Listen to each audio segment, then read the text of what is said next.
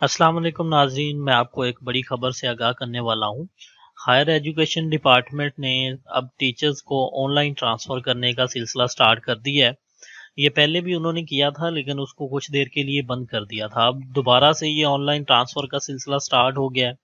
Teacher इसमें दोबारा से अप्लाई कर सकते हैं। चौदह अप्रैल इसकी लास्ट डेट है। लिंक मैं आपको डिस्क्रिप्शन में दे दूँगा, वो मैं आपको प्रोसीजर भी इसका बता देता हूँ क्या करना है। ये बड़ा सिंपल सा प्रोसीजर है। ये आपने चौदह अप्रैल तक अप्लाई कर सकते हैं। आज से इसकी ऑनलाइन जो है वो ट्रांसफ़र की रजिस्ट्रेशन स्टार्ट होगी है।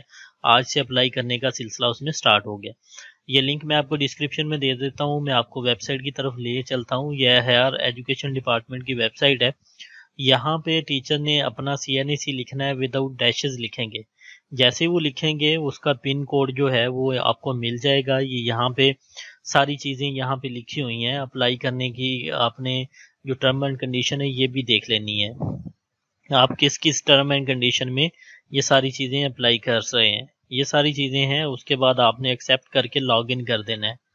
ठीक है, ये मैं आपको बड़ी खबर से आगाह कर रहा था। हायर एजुकेशन डिपार्टमेंट ने ऑनलाइन टीचर्स के लिए अप्लाई करने का सिलसिला स्टार्ट कर दिया। फ़र्ज़ करें, यहाँ पे मैं अपना ईमेल अपना आईडी कार्ड लिख देता हूँ।